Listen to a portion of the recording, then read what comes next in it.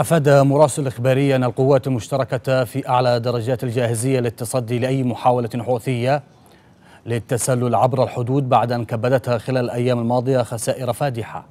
للحديث حول هذا الموضوع انضم إلينا من الربوعة مراسل إخباري عبد الله النصار. مساء الخير عبد الله أبدأ معك عبد الله يعني صف لنا الآن الأوضاع لديك. وهل كان هناك خلال الساعات القليلة الماضية تسلل من الحوثيين على الحدود السعودية؟ تفضل عبد الله مساء النور زميلي إسماعيل. بالفعل كالعادة لا تزال محاولة التسلل من المتسللين واختراق الحدود تتكرر على مدار الأيام.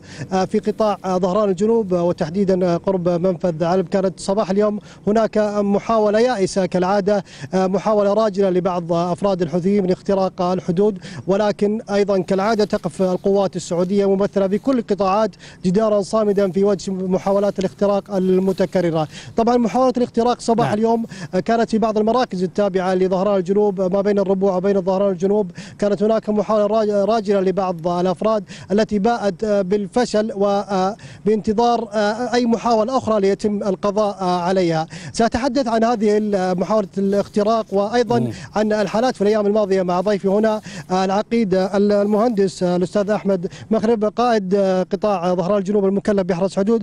نرحب فيك معنا ساعة العقيد في الإخبارية الله يقويكم. ساعة العقيد كيف هي الأوضاع خلال الساعات الماضية ومحاولات الاختراق خلال هذا اليوم؟ بسم الله والحمد لله والصلاة والسلام على أشرف الأنبياء والمرسلين. أولا نشكر لقناة الأخبارية وقوفها الميداني على الحدث المتواجد في الشريط الحدودي ونقل صورة واضحة للمواطن الكريم والمقيم العزيز في داخل أرجاء الوطن.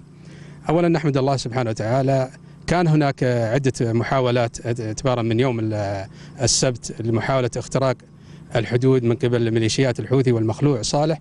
وكانت جماعات كثيرة ما بين العشرين إلى ثلاثين في طبعا راجلة. كانوا يستهدفون الرقابات بالقناصة والمدافع الهاون ولكن بفضل من الله سبحانه وتعالى وقوة جدارنا الأمني سواء في القوات حرس الحدود أو القوات البرية وكذلك القوات الجوية. تم دحر جميع هذه المحاولات وأصبحت محاولات فاشلة. تكبد العدو من خلالها خسائر فادحة في الأرواح حيث إنه في اليوم الأول ما يقارب من 30 إلى 40 جثة وجدت في مسرح عمليات الاشتباكات في سواء في مركز علب أو في مركز الربوعة ونحمد الله إنه إحنا صامدين مهما كان الوضع ولن نتهاون في عملية دحر الميليشيات أو كذلك القوات المخلوع صالح. عقيد أحمد كيف هي طبيعة محاولة الاختراق؟ راجلة بسيارات أفراد جماعات كيف هل تتنوع من مرة لأخرى أم أسلوب موحد؟ في الحقيقة الميليشيا الحوثي هي لا تمتلك القدرة الكافية أن تتجاوز الحدود فهم يناورون بالمدفعية الهاون من بعد. في سبيل إخلاء الرقابات أو الشريط الحدودي من التواجد العسكري هناك. ولكن نحمد الله هناك تحصينات أمنية للأفراد والآليات.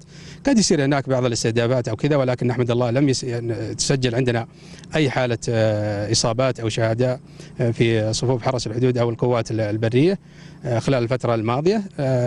هم يحاولون أنهم يخلون المنطقة الحدودية ومن ثم التقدم. ولكن بما هم يرغبون إلى التقدم إلى المسار الحدودي تبادرهم النيران المدفعية بموجب رادارات عندنا يتم رصد موقع تجمع المتسللين أو الحوثيين ويتم التعامل معهم يعني. وأنا على حدث من الأحداث وقفت ولاحظت إنه أكثر من 30 أو من 25 إلى 30 إن القذيفة الهاون أو المدفعية كانت تتعامل معهم عن بعد تقريبا 35 كيلو ونحمد الله أنها اجدت مفعول طيب لم نرى إلا واحد منهم بدأ يتحرك يعني من الموقع.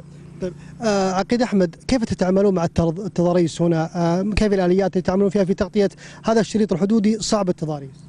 اولا فنتكلم عن حرس الحدود بالذات فحرس الحدود جبل على التضاريس هذه منذ تعيين الفرد أو الضابط وهو معايش لهذه الطبيعة فلم يتغير عليه شيء.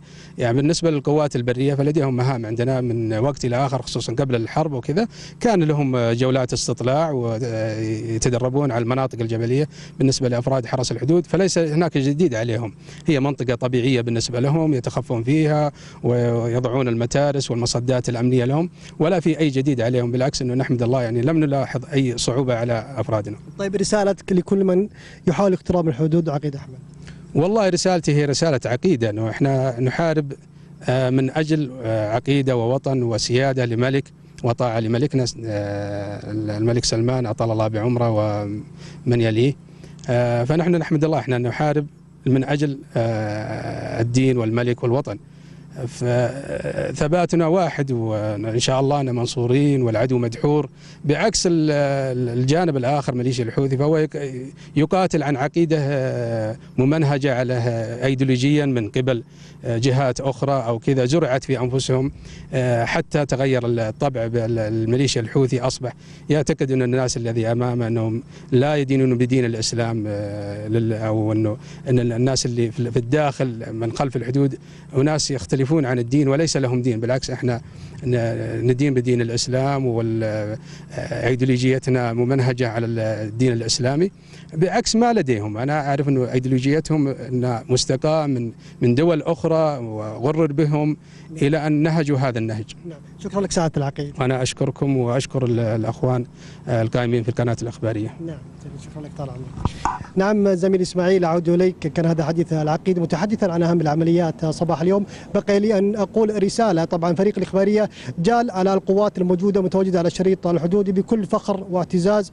أنقل الروح المعنوية القوية والعالية لأفراد آه، الجيش وسلاح الحدود والحرس الوطني. أنقل ما رايته بفخر واعتزاز من إمكانيات مادية وبشرية تمكن آه، من حماية حدودنا بكل قوة واقتدار. أعود لك زميلي إسماعيل. نعم آه، كان معنا من الربوع مراسل إخبارية عبد الله نصار. شكرا جزيلا لك عبد الله ولضيفك الكريم.